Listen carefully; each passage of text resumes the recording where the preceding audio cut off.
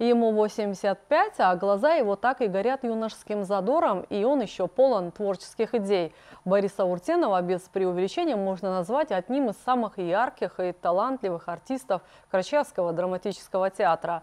На сцене он 62 года воплотил 170 образов, сыграл более 10 ролей в кино и на телевидении. Но самыми важными своими ролями Борис Уртенов считает те, что сыграно на родном языке.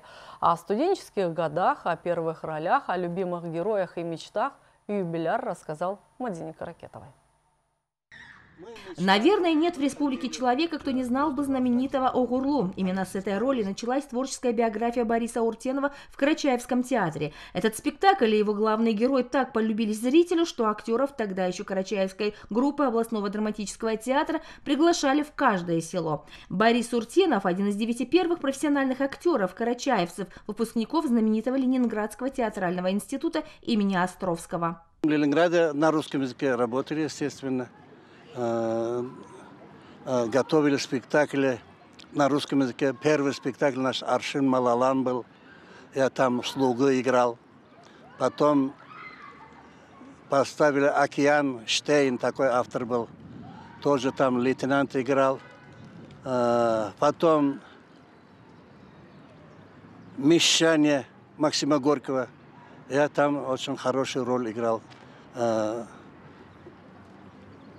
пролетариата, скажем так, э, рабочего, который революцию только, только начинает сознавать, понимать и двигать. Будучи студентом, Борис Уртенов подрабатывал в спектаклях Малого оперного театра как артист миманца. Борис признается, что хоть это и была массовка, эпизоды, но несравнимый опыт, потому что это дало ему возможность окунуться в работу настоящего академического театра. Я не говорил, не пел, не танцевал, но я видел корифеев театра. Я видел талантливых певцов, танцоров. Я у них учился не меньше, чем э, в институте. Мне было интересно. Потом же музыка, там Чайковский, там Бизе, там другие авторы, мировая музыка. 18 студентов вернулись на родину и привезли четыре прекрасных спектакля. Костюмы наш ректор института подарил нам все костюмы, бесплатно отдал. Э, и мы тут всем показывали. И в течение двух лет показывали. Вот остров Афродиты, Мещане, Океан и Аршин Малалан. «Аршин Малалан», кстати, был самый первый спектакль, в котором Борис Уртенов, будучи еще студентом Ленинградского театрального института, пробовал себя в качестве профессионального актера. Он сыграл одну из ключевых ролей «Слугу вели». Но самой большой мечтой молодого актера было говорить со сцены на родном языке. Эта убежденность пришла давно, еще в детстве, в степях Средней Азии, с мечтами о возвращении домой, о сцене, мысль о которой не покидала его уже очень давно, с тех пор, как в сельском клубе, будучи мальчишкой, наблюдал игру труппы казахского театра, ставившего музыкальный спектакль «Аршин Малалан». И вот парадокс, спустя много лет Борис сам уже играл в том же спектакле, но уже на сцене Ленинградского театра. Мечтали, мы хотели поставить на родном языке спектакль. Если нет у народа, нет языка, нет театра, нет народа. Я так думаю. Ну, так и говорят. А, поэтому мы хотели на родном языке. Это было для нас это, это счастье, надежда была. Мы нашли драматурга Шахарби Ибзеева, Джандет Левосн, и он принес э, свою э, пьесу «Огурлу». Мы поставили «Огурлу». Там всего 8 человек участвует. А Такчук Борис э, решил поставить как режиссер. И мы поставили – и в 1963 году в городе Карачаевске 8 марта мы показали этот спектакль. Это была двойная радость. Во-первых, э, женский праздник, во-вторых, мы на родном языке э, смотрели э, спектакль, мы э, показали спектакль.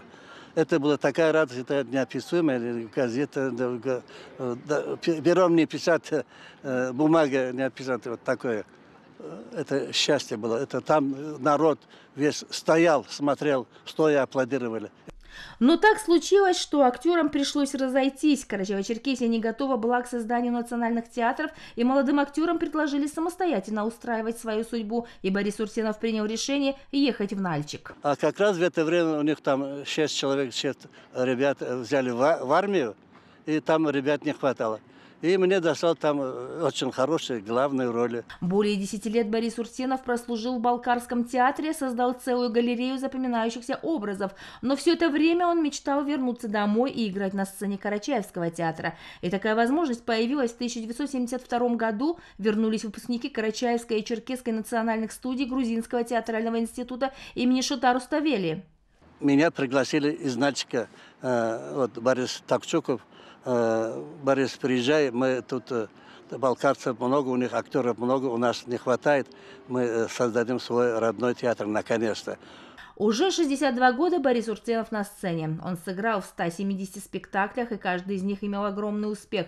Пробовал себя в качестве актера кино и тоже успешно. Дебютным стал фильм «Стреляющие горы». До этого тоже были эпизодические роли, роли в массовках и, конечно же, съемки в документальных фильмах, посвященных депортации карачаевского народа, приговоренные к забвению и «Война и мир Карачая». Борис Уртенов женат на прекрасной Тамаре Уртеновой, в девичестве Казбаевой, певице и руководителе детского ансамбля «Карча», имеет двоих сыновей, один из которых выбрал профессию экономиста, а второй пошел по стопам знаменитого отца и тоже играет в Карачаевском театре. Есть трое внуков. Подводя итог, с которым подошел к 85-летнему юбилею, Борис Урсенов говорит, что он счастливый человек, поскольку...